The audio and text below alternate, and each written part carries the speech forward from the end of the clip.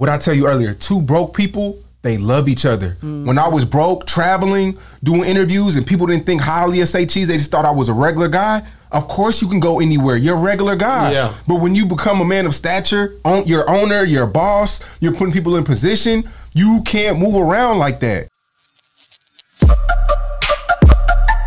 We on Boss Talk 101. 101. Yeah, we gonna talk. I think the platform is doing on the whole. Y'all just- doing great. You Y'all like it? doing great for sure. Yeah. Man, I, I- watched the shit. I think I watched the Row. Yeah, the yeah, I love it. Yeah, Carl's was I wa- dope. I, watch it. Man, thank you so much, man. Like I said, it means a lot to us because, like I said, we try to post and it's not an easy grind. It's not bro. easy. I do it, and you know if you see what we doing and you do it, you know what it takes to Exactly. do it. Exactly. It's not a game. It's not.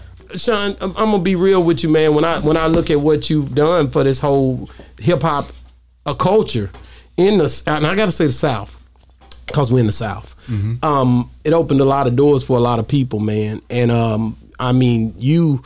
But it's hard, man. I, I I I had Taylor on here the other day, and Taylor was like, "He always respected you." I had to think about you the same way. He was like, "I always respect you because you know you're a boss and I'm a boss." And when I was playing, he played NFL mm-hmm. ball. You never mm-hmm. pressured me to, you know, to answer the phone. You knew if I was doing something, Yeah. I'm busy. And I had to put you in that same category because I was like, man, at first I hit you a couple of times, like, that nigga ain't Bro. answer me back. But I got it Yeah. because I start thinking of it the same way because I be busy too. And, I, I, and I, I'm trying to create waves to where I, I control my time. Right. Yeah, So I, need. I, I need to do better with that. No, I know it, but I'm just telling you. I understand why too, though. You need to do better, but you also need to stay focused because Exactly. Mm-hmm. there's a lot come with what you're trying to accomplish, and what you're doing. A lot of people never do, bro. Exactly. So I get it. You know what I'm saying? I- and I appreciate you for understanding that because a lot of times it becomes People you- get mad at you.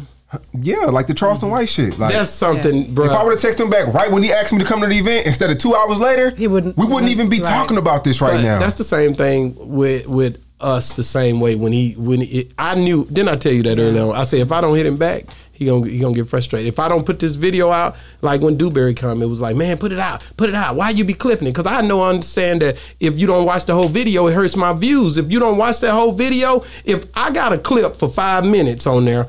And, and and you watch a little bit of it. It ain't gonna hurt me as bad if I put a whole hour up and you watch just a little bit. Am I right? you right.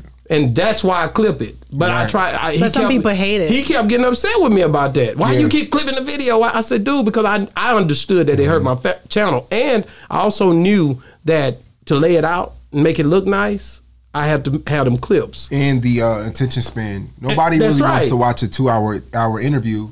People take shit in doses.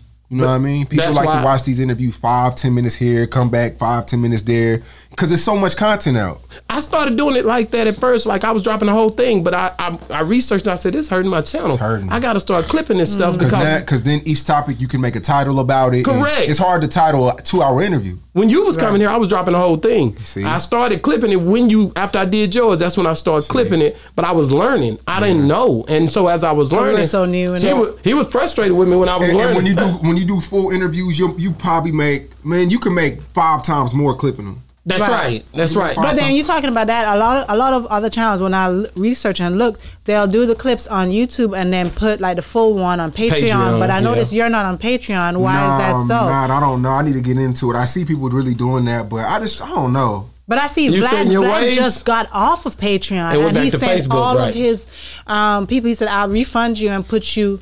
Um, I want y'all to go to Facebook and Instagram." So I'm like, okay, so why do you why? get is- Patreon?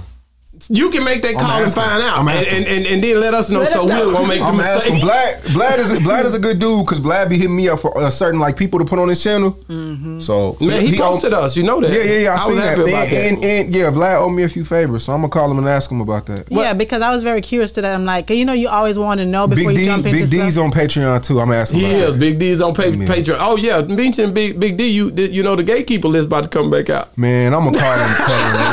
Don't, Don't put me on Just keep me off You this you year. you beat out you beat out J Prince beat last out time. Jay I, I, I don't even like the comparison. He's like, I get it. You know what I'm saying? But I'm telling you, it's about Yeah. to come hard and heavy. So be ready for Yeah, the nah. for the But I backlash. remember what I was going to ask you because you were talking about that. Um, you don't hang out with them and so forth with, with everybody. I don't like they'll- being in that you don't be space. like in that like like we can go to a beach or a basketball game and sit courtside, or we can do. I don't like being in the studio. If you if you look at the statistics, 60% of artists who died were leaving the studio or heading to it That's or in the studio. I don't like being in the studio or in the club. I don't mind being we can go out to eat. We can go to my to a beach chick, bring your chick, I bring my like shit like that. But That's grown folks. Yeah, like hanging out and being laid up, being at the crib and being in, in a trap and all that. I don't like none But I in don't the like being beginning that of your career, did you used to? Yeah, he did it. Yeah. He was in the street. But, but that's the, that's the thing. You see, when you were in the street back then, you didn't have to do it because you weren't made as yet. Yeah, because I But wasn't a now that- target. right When now you're that you're made, what I tell you earlier, two broke people, they love each other. Mm. When I was broke, traveling, doing interviews, and people didn't think highly of Say Cheese, they just thought I was a regular guy. Of course, you can go anywhere. You're a regular guy. Yeah. But when you become a man of stature, own, you're owner, you're boss, you're putting people in position, you can't move around like that. No, that's You see what I'm saying? That's the truth, man. So that's why people don't look at me as that same guy. No, you're not me, that same I'm guy. fresh meat when they when niggas see I me. never when I when I see you talk about Vlad, and I know he's a mentor of yours, and you watched his blueprint, but I always would say, man, you say that, but you're giving a little more credit to Vlad, and you was the one that I watched that would go out to these people's houses.